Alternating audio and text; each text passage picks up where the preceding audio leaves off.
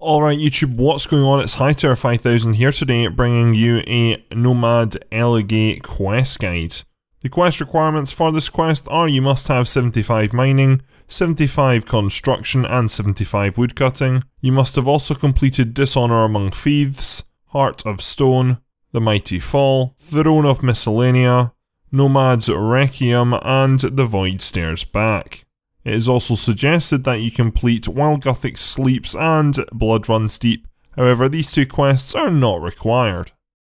There's multiple recommended items that you can bring to make this quest easier, however they are not really needed. Dreadnips from the Dominion Tower, any shield to be able to use Resonance for Nomad's Charge Blast in the second phase, I'll come back to this when we get to the final boss fight. Healing food and combat equipment, there's no preference over what equipment you do use, however range or mage will be a slight advantage as you have the distance. If you are using magic then you can use debuff spells and also the affinity debuff when fighting Nomad as this will be the most strongest way to attack Nomad. It's also recommended you bring stat boosting potions such as overloads or supersets a beast of burden for the final fight so we can fill it up with more foods, and then it's also suggested you bring an aggression potion for the Bandosian afterlife and protecting the battering ram. There are multiple enemies to defeat during this quest, Nomad level 799 a special boss, several Bandosians, Order of Ascension members, Shame and Guilt who are all mini bosses in themselves. Once you're ready to start this quest, make your way to the location shown on screen, which is the entrance to Soul Wars, just south of the bank in Edgeville. Once you arrive at the quest start location, enter through the Soul Wars portal. You then want to speak with Zimberfizz, who is located just to your east. Select option number 2, talk about Nomad's Elegy, You will then get the quest prompt, go ahead and accept the quest. You then want to investigate Nomad's tent, which is to the east.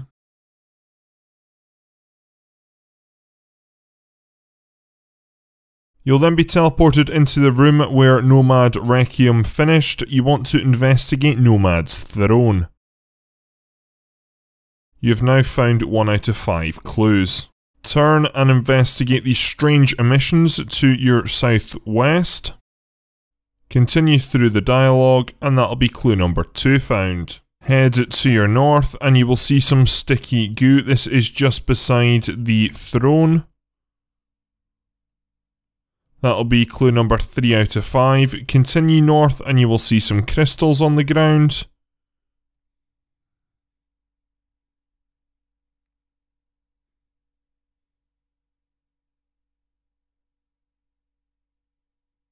When you investigate the crystals, they will blow up. You'll then be brought into dialogue with Death and Icthlarin. If you do get interrupted while you're in Death's realm, you'll be teleported outside to near Draynor Lodestone.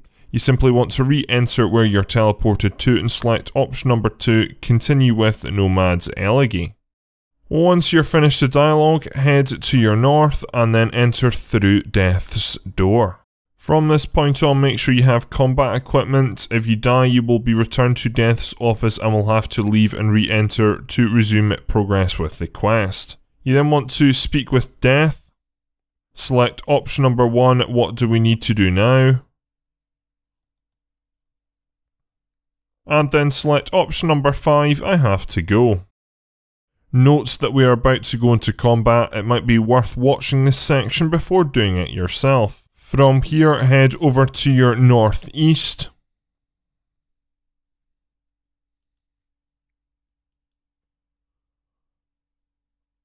And then climb down the stairs and then embark on the blood-stained jetty.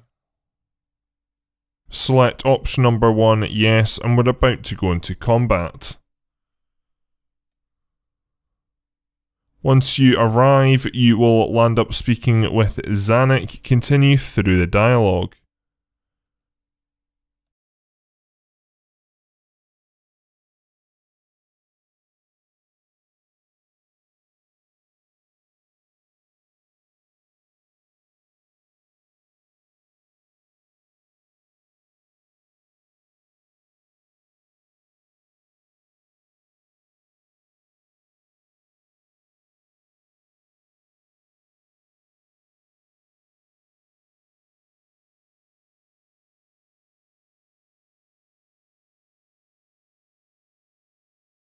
You'll eventually get out of this cutscene, you just want to continue through the dialogue with Zanik.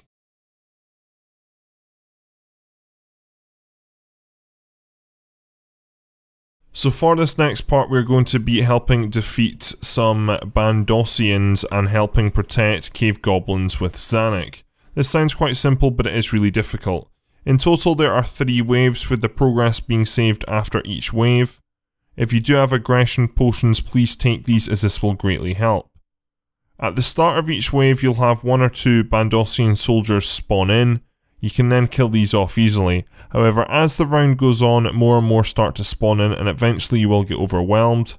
Zanik will do some help, but he won't do too much, so it is really just down to yourself. You can't really rely on Zanik as you get further into the round, what's going to happen is you have so many on you, you just want to start tagging them because you don't want the Bandosian soldiers to be attacking the goblins, you want them to just be attacking you, so you're going to be essentially tanking up to against maybe 10 enemies at once. This is a lot, however you want this because if you lose all of the cave goblins you will fail. If you do fail then you'll be teleported back out to the Bloodstained Jetty you simply then just have to re-enter and repeat. The advantage of this though is, as I said, after each wave it is saved. So if for example you fail on the third wave, which is highly likely, like I did, then you will just go back into wave number 3, but the good thing is you'll go back up to 10 cave goblins. It does make the world a difference when you have 10 goblins to start off wave 3. So this isn't actually a bad tactic. If you're struggling, just let it overwhelm you and then go ahead and retry the final wave with the maximum amount of goblins. Once you finish wave 1 you will get more dialogue with Zanik, continue through his chat, my tactic for this is keep a high line, so when they start to spawn in, kill off as many Bandosians and be in their spawn and then slowly retreat back over the bridge. Do not do what I did, do not attempt to be attacking them in with the area where all of the cave goblins are. Okay, this is sometimes a last resort, but if you can, try and get all the enemies out of there, just because at one, it'll be easier to see the individual Bandosian soldiers that are attacking the cave goblins, so you can focus on them momentarily. And two, it means that no soldiers go astray, so that means you're less likely to lose cave goblins. It's not the easiest thing to do, do expect to fail, but if you fail it's not the worst outcome, you just try again and then it will be easier. Good luck. Once you finish wave 2, once again you'll get some more dialogue with Zanik and then they'll start to respawn again.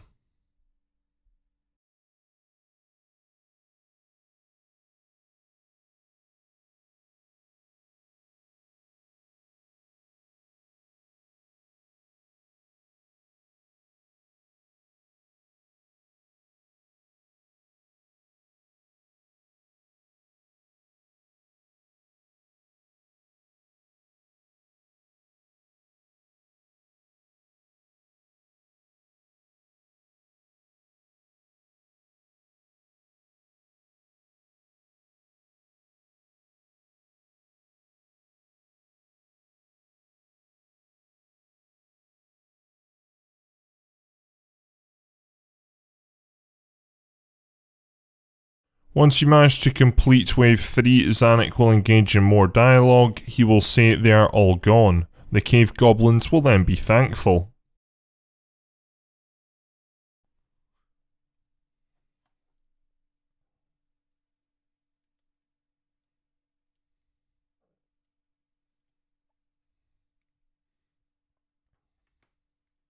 From here you want to head round to the northwestern jetty, make sure you have at least two free inventory slots. You then want to climb down and embark off the dusty jetty. Note that there is no combat for this. Select option number 1, Sail to the Afterlife. You will then arrive in Lumbridge. You will then see Astrid. Go and speak with Astrid. Continue through the dialogue. You then want to exit out of the castle and then you want to head to your south. In the building just to the north of Bob's Axe Shop, you want to enter in and you will see Jessica. Speak with Jessica. You then want to head back into the Lumbridge Castle and then head over to your southwest where there is a wizard. Go ahead and speak with this wizard.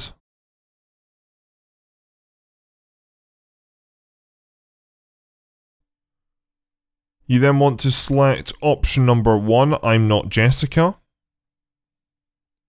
Select option number three, my name is Jessica. Select option number 2, Wizard Grayzag. The wizard will change into a creature and then change back to a wizard. Select option number 2, you represent danger. Select option number 4, I'm not afraid of you. And then select option number 1, then I won't fail.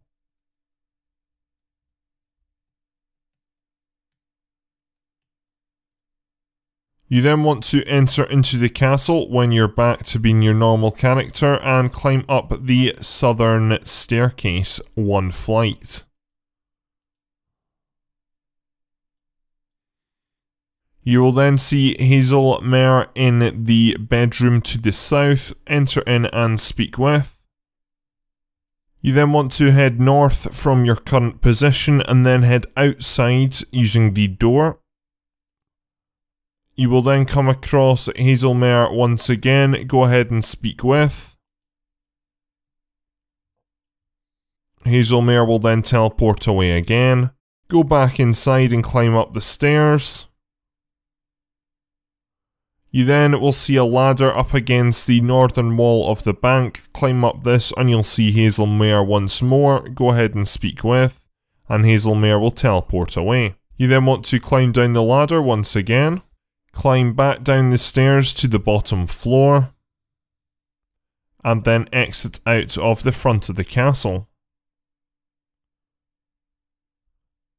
You then want to enter into the doorway just to your southeast. This means you're now in the southern tower of the castle gate and then climb up the ladder.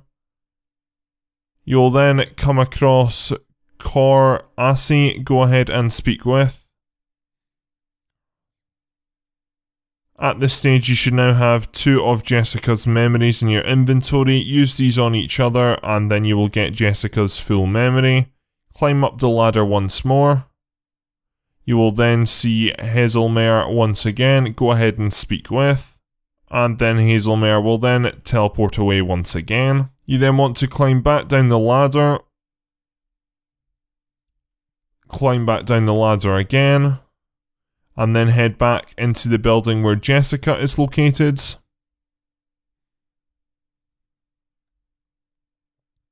Speak with Jessica. She will then teleport away with her memory. Enter into Bob's Axe Shop, the building to the south, and speak with Hazelmere. Hazelmere will then teleport away. Heads back into the castle grounds.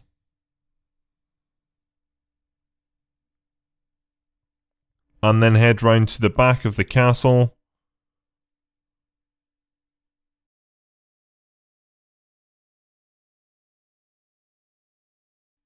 You will then see Hazelmere once again, go ahead and speak with. Hazelmere will then teleport away again, heads back round to the front of the castle.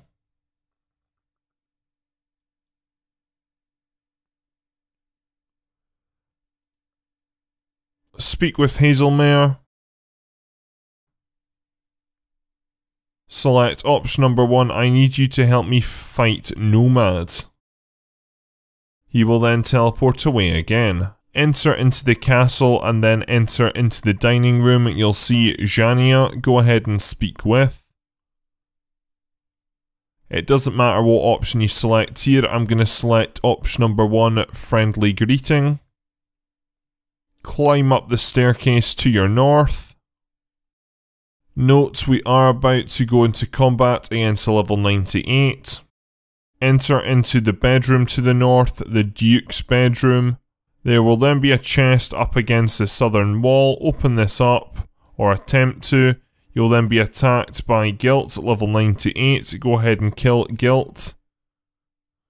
Once you kill Guilt, Guilt will drop a guilt ridden key. Pick this up. You then want to reopen the chest, and this time you will get into it. Search the chest, and then you'll get another half memory.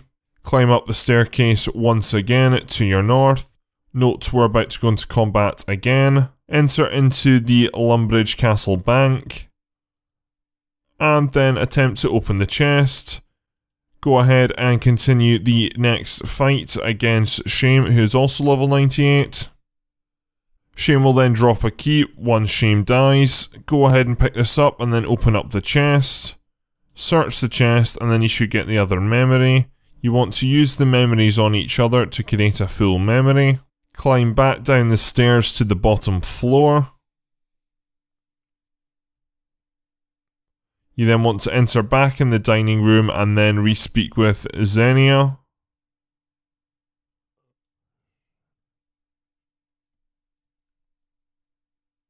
Once the dialogue is complete, she will teleport away. Go back outside the castle and speak with Astrid. You'll then get a cutscene. Continue through the dialogue select either option. I'm going to select option number one. Yes, I feel the same.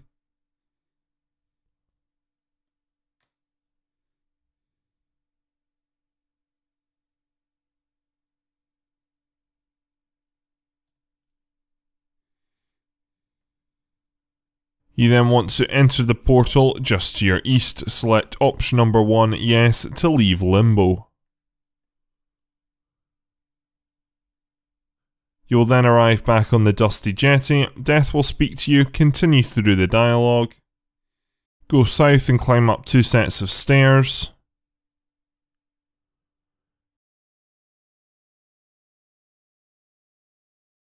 You then want to go and plan the war table beside Death. Death will engage in conversation, continue through, and then you'll get a cutscene. Continue through the dialogue. Select option number one, I just need to ask you a few things first. You then want to keep choosing the option which currently is option number 2, threaten him, until you get the option remove crystal. Keep choosing remove crystal until he then dies. Note that you will be doing this for quite a while, at least a minute.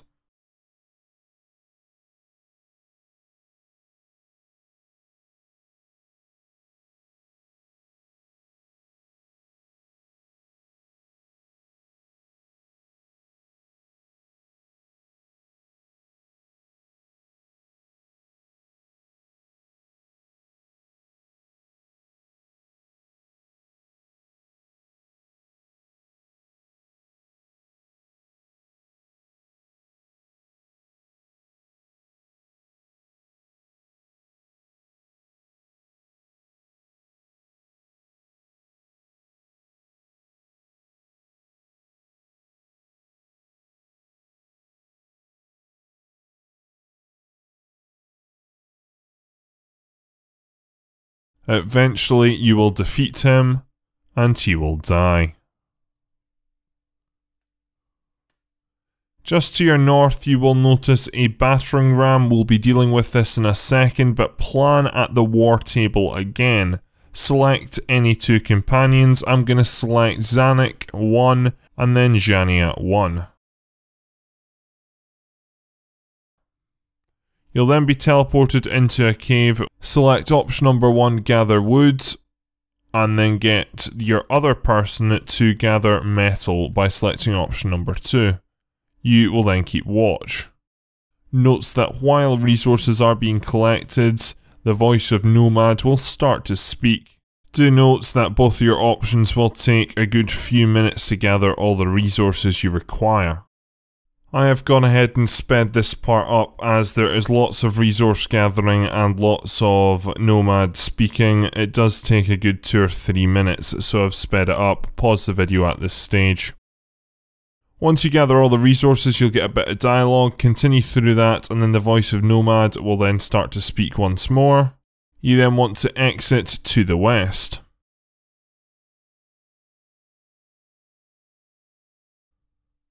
You'll then be teleported back to where the war table is. This time you want to go and build the battering ram blueprint to the north.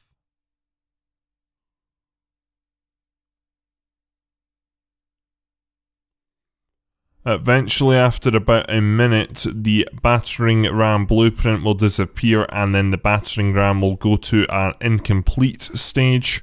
The voice of Nomad will keep speaking. After about another minute, the battering ram will continue to grow in height. You will then get more voice of Nomad commands. Eventually, after about 3 or 4 minutes, Death will start to speak to you again. You will then notice that the battering ram is now complete. Return back south to the war table.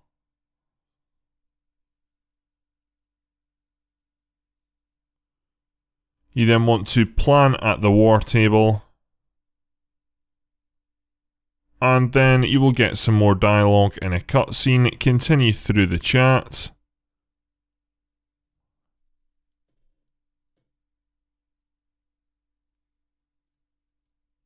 You then want to run round to the battering ram to your north. You'll notice there's an interface in the top left hand corner with pictures of everyone. So for this next part we need to run round to the battering ram. You'll then see in the top left hand corner we've got images of 6 NPCs. These options there are the same as right clicking in command and moving any of the NPCs, just if there's any confusion. What you want to do is stand in front of the battering ram. This will then slowly start to move up behind you. Do note that the ram moves very slowly and there is a bit of delay from when you standing in front of the ram to it moving forward. What you need to do is you need to continue up the path to the north up to the door. This is quite straightforward. As you do this though, enemies will start to spawn in and you will have to kill them. However, you've got your team, and the team actually do most of the damage for this. You need to make sure though as your battering ram slowly moves up, you continue to move your team up. Try position your team in front of the battering ram where you possibly can, so you can make sure they do most of the damage, it's the best tactic. Note that you will have to do some of the damage though. When you get to the door, for a while there'll be lots of enemies that spawn in, but you'll just be able to kill these off very quickly. Once you've got everyone in position, move in front of the battering ram like I did just there, you then want to start moving people up.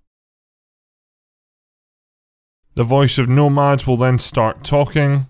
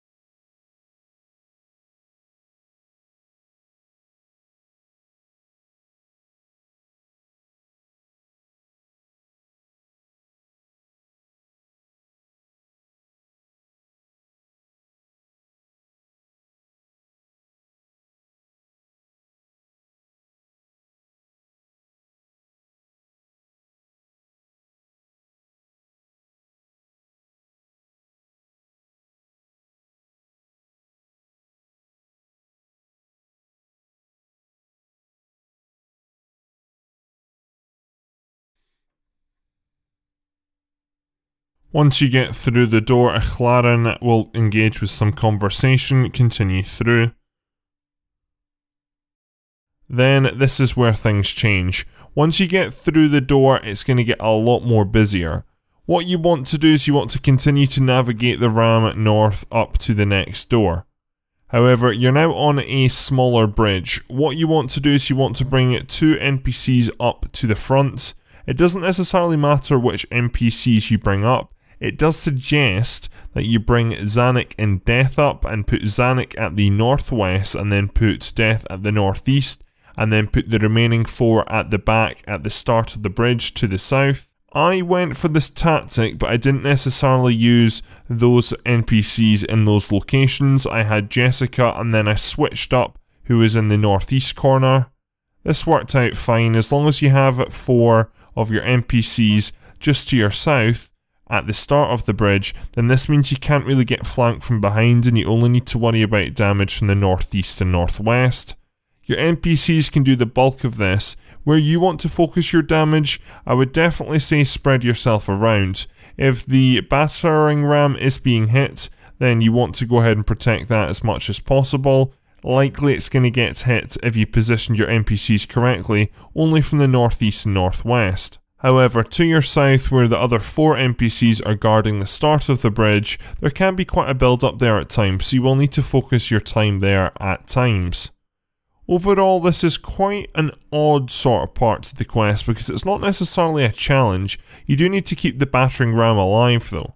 As the battering ram depletes, you'll also notice there's a separate unlinked bar at the top of the screen. This is basically the door percentage and your battering ram needs to stay alive to be able to get this bar at the top of the screen down to the far left. This is very slow going and it's difficult to picture where you should put yourself I would just try and do the maximum amount of damage and mainly focus on the battering ram itself and focus on its damage and where it's taking damage from and putting most of your resources into that area.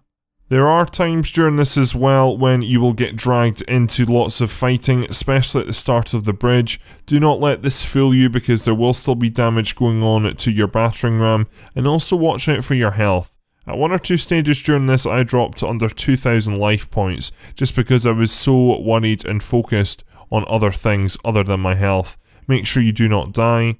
If you do land up dying then you'll be teleported into Death's realm.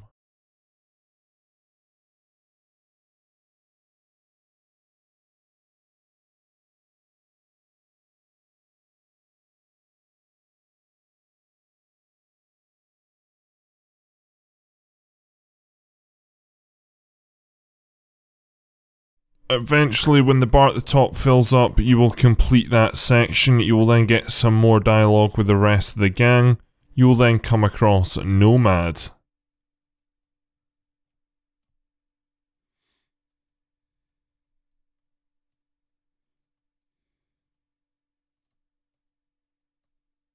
In front of you, you'll see Nomads level 779, however, we do not want to fight him just yet. You want to leave by using the stairs just to your south. You then want to select option number 1 yes, as we're going to bank. You'll then be teleported just outside of Draynor village. Make your way to a bank somewhere in Gielinor as we are now about to prepare for the final fight against Nomads level 799. I highly recommend you watch through me going and killing Nomad first of all because there is so many special attacks, in total there's also 7 phases and you are likely to die. This is a big warning for hardcore Iron Men. The items you will require is very strong combat equipment and high healing foods. What I mean by high healing food is food that restores your hit points to over their maximum.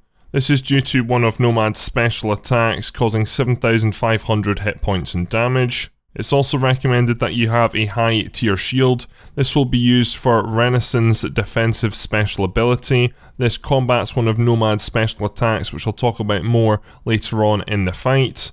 You will also require stat boosting potions. Stat boosting potions you want are related to your prayer and also your skills. Now your attack skills in particular, or combat skills should I say, sorry, will be getting drained. So I'd highly recommend bringing a combination of prayer potions and super restore potions as those will do the trick. I also brought along overloads as well. If you are using magic, use a Guthix Staff with debuff spells, this will do the most damage. I just went for my regular range setup as I wanted to give this guide from a more basic point of view.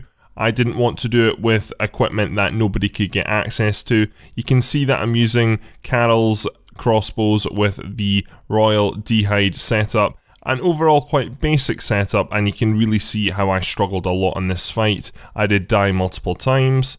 It's also recommended you bring a Beast of Burden, pack this with as much food as possible as you will just take a lot of damage in general throughout this fight. Finally, one-click teleports do not work. Any form of teleportation out of the arena does not work. If you want to leave then you have to go back to the entrance and select quick leave like we just did when we were leaving as we weren't ready to fight Nomads. I would also highly recommend during this that you have any auras activated such as Vampirism which go ahead and help out with combat because it is a lot of combat for a long duration of time. Finally, once you're ready, make your way to the location shown on screen which is Draynor Lodestone and the entrance to Death's Hourglass. Once you arrive at the quest start point, do not enter in yet. We need to go ahead and make sure we have the Resonance defensive ability put onto our hotbar. Make sure this is also in a clickable location as well because one of these special attacks will require us to use this very very quickly so make sure it is visible and ready to use at any time. Overall, there's no preference on what prayers you use. I'd recommend using Soul Split if you have it, if not use Deflect from melee. Once you're ready, enter into Death's Hourglass.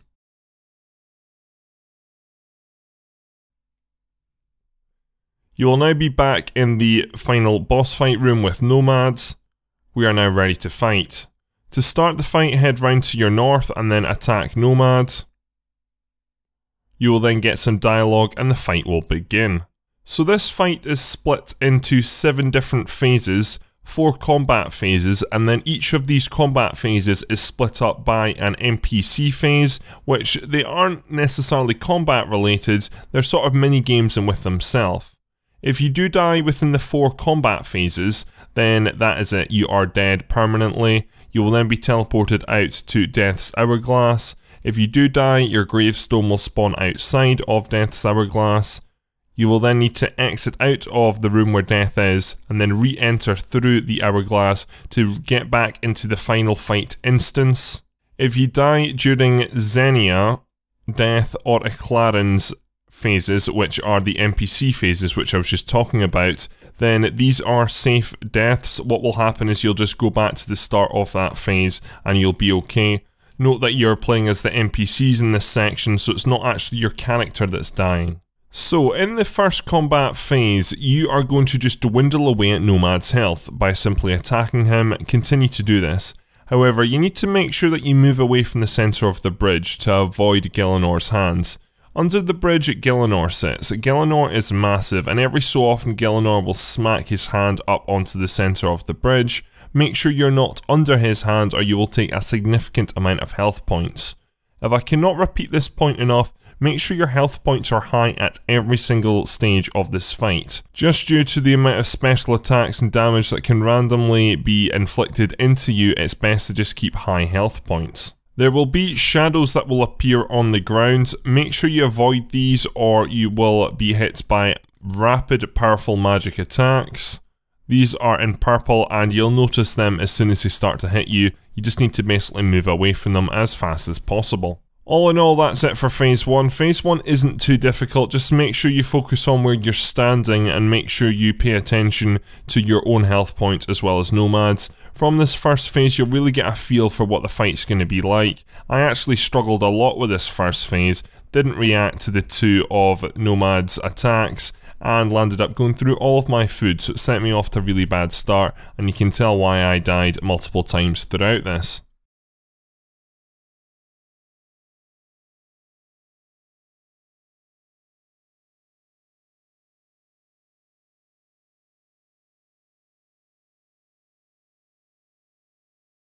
Once you complete the first combat phase, you will then be changed into Xenia, and this will start the first NPC phase, or the second phase in total. What you need to do for this is use the three abilities which will be shown at the top of the screen. They're just buttons and you need to use these on different monsters to kill them off to complete the phase. Quite simple. What you need to do is run around the arena and basically just continually use them. You want to use Fire Blast on the Rorari, you want to use Shield Dome on the Gladi, and then you want to use Shadow Stock on the Skatari all are listed at the bottom of the screen. When you need to heal, which there will be occasions when you do need to heal, then you need to target the Cap Sari, and I would recommend doing this last as they heal Xenia when no other targets are available, so kill off the other targets first, then target the Cap Sari as they will heal some hit points for you. I highly recommend going around the corners slowly when you're making your way around, and try and target only 2 or 3 enemies at once. You don't want multiple attacking you at once and it's much better in a 1v1 scenario. With the shadows that appear on the floor, make sure you're at least 2 tiles away from them or you can be hit. If you get directly hit you will be damaged even more. One tactic for this is to go ahead and group the different enemies up together. You can then splash multiple damage onto each monster.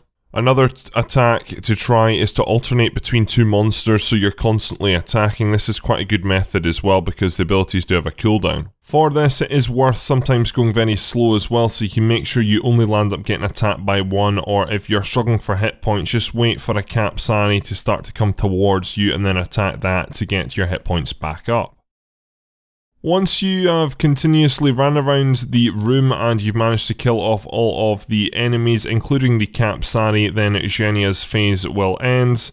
You'll then finish the second phase and then go into the second combat phase, or the third phase in total. This second combat phase is very, very similar to the first combat phase, however there is now a additional attack which we do need to be aware of. Nomad at times will now start to teleport you near him and orders you to face the Wrath.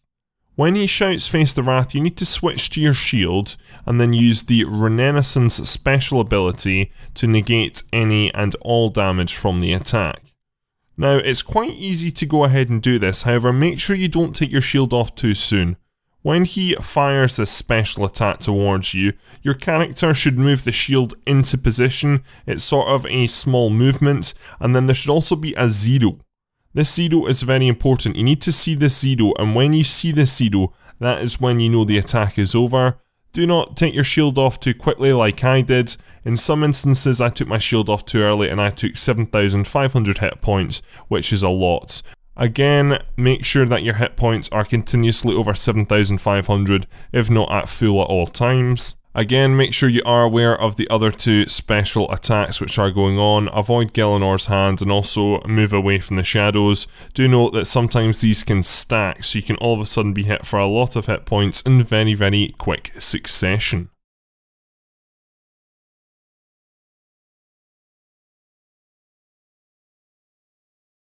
Once you defeat Nomad for the second time, that will be the second combat phase complete, and then you'll go into Death's phase. This is the second NPC phase and the fourth phase in total.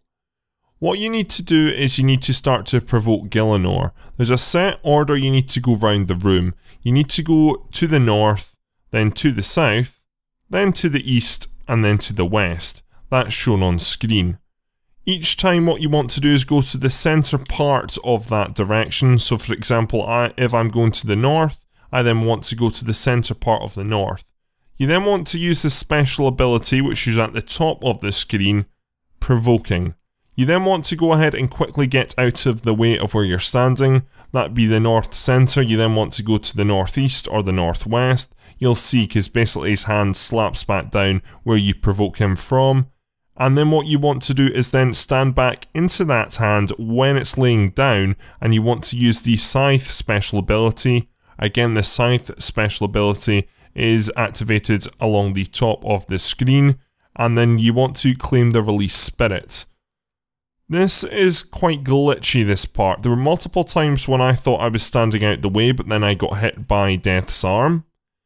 Also, there would be multiple times when I thought I was beside close enough or even in the hand of Nomad, I would use the scythe, but then I wasn't either fast enough or something that happened, a glitch, and I didn't manage to get the release spirit. If you manage or don't manage to get the release spirit, then you just need to continue on to the next part of the room. Again, continue following the directions of north, then south, then east, and then west. And then you just need to repeat this until, unfortunately, the phase is over. This can take quite a long time and do expect to fail on this. Again, you really need to watch out for your hit points. You can't be hit by the hand too much or you will die.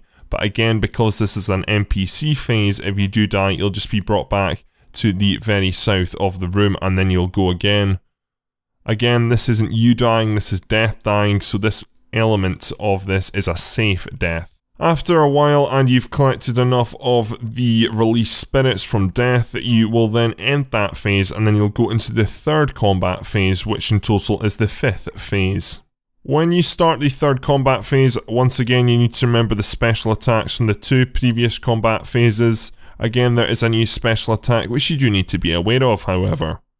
First of all, you need to go ahead and get Nomad down to half health, simple as. However, when he gets to half health, he will then spawn a clone of himself. You need to then start killing them both. The real problem here is that there's no way to tell which one is the clone and which one is the real one you basically need to go ahead and kill one of them, and then if the real nomad is killed, then the phase will end. However, if you do not kill the real nomad, then you'll have to go and kill the other one. There is no way to tell which nomad is which, unfortunately. It is totally random, which is really frustrating. I got very lucky and I managed to kill the right nomad. However, if you are not so lucky, then you will have to go and kill another half of nomad, essentially. One big tactic for this is focus on one nomad when two of them spawn in because at a certain point when you've got two nomads, that means two level 799s will be attacking you at once. Let me say that again, you will have two level 799s attacking you at once. The amount of damage you take during this time is just astronomical, so get one of the nomads killed as soon as possible. Make sure you are aware though of the three other special attacks. You can have two nomads attacking you, you can have Gielinor's hands, you can also be standing in the dark magic, and then Nomad can also land up calling out the special attack with the shield. So, so much is going on at once, and this is where you're going to be likely to start to die. It's really unfortunate. Things get very, very chaotic, and I died once or twice in this combat phase alone.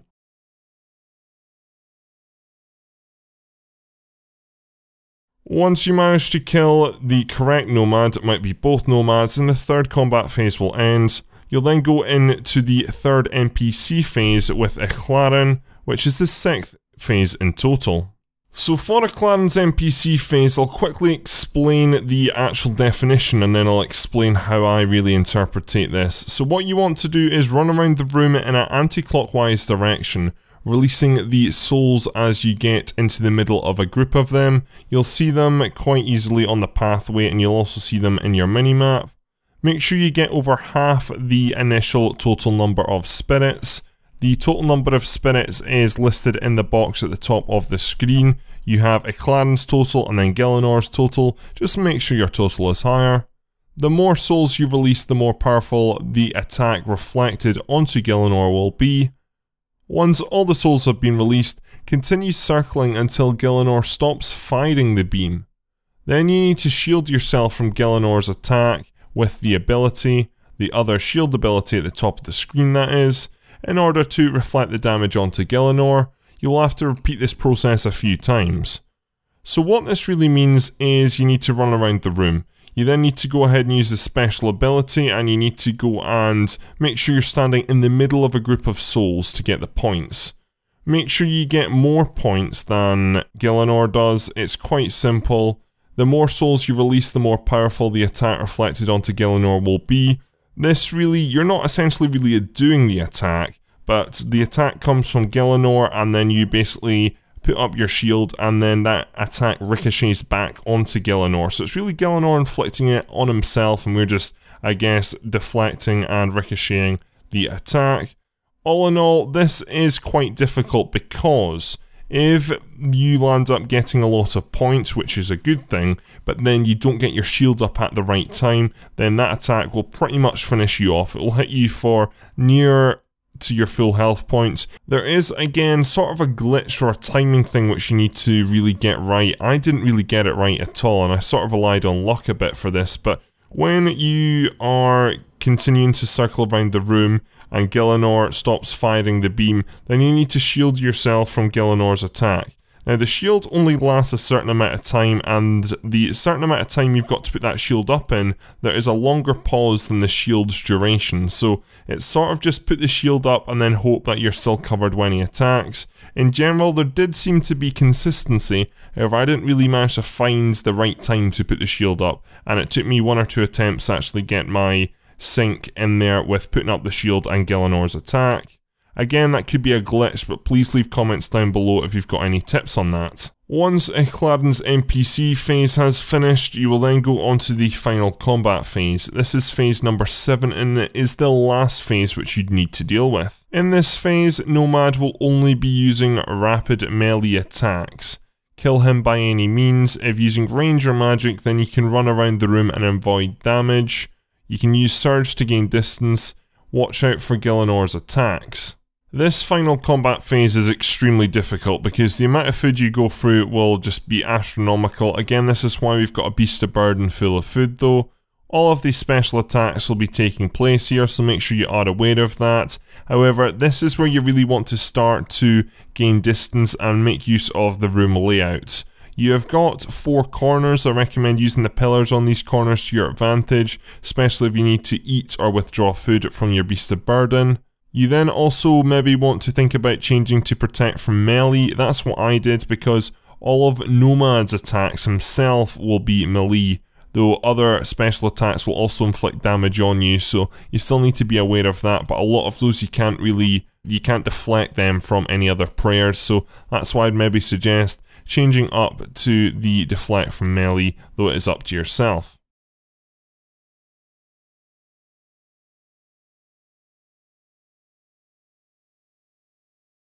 Once you finally finish phase number 7, you'll then be teleported into the bridge in the middle. That is the final phase and the fight now complete.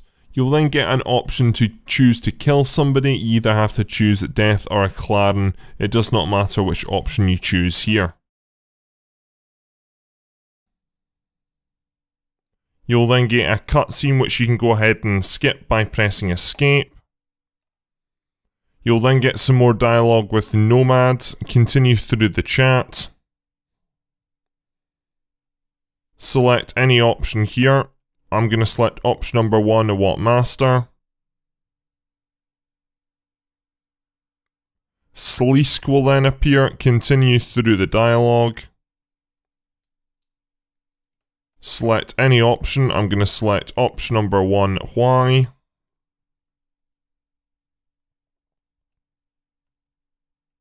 You then have the choice to let Nomad live or kill Nomad. I'm going to let Nomad live.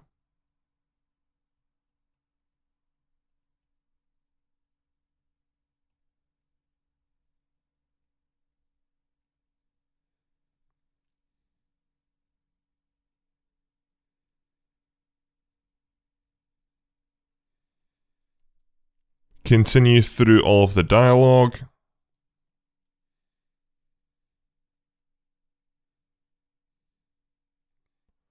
Once you finish that cutscene, you will then be teleported back out to where the war table is. You want to speak with death. Select option number one, I have said my goodbyes.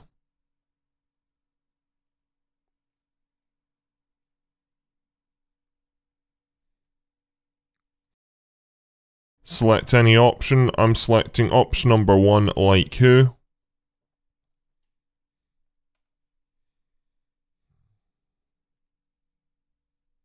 You then have an option to either bring Zanik back or keep him dead. I'm going to select option number one, come back with me Zanik. Then select option number one, goodbye my friends. You'll then be teleported back to Gielinor and that is the quest complete. Congratulations, you've completed Nomad's Elegy. You're awarded with 1 quest point, 50,000 construction XP, 50,000 mining XP, 50,000 woodcutting XP and 50,000 combat XP Note all of these are in lamps. A soul in a box blueprints, a urn enhancer blueprint along with two treasure hunter keys. Thanks very much for watching this video, please leave a like rating and subscribe if you are new around here. Go down into the description below and check out my other quest playlist CDs where I'm sure I will be able to help you out with another quest. There's also links in my Patreon, Discord, and Twitter down there, which any support on any of those platforms you could show me would be greatly appreciated. And that is all for this video, ladies and gentlemen. Thanks very much for watching, my name is Hightower5000, and I'm out.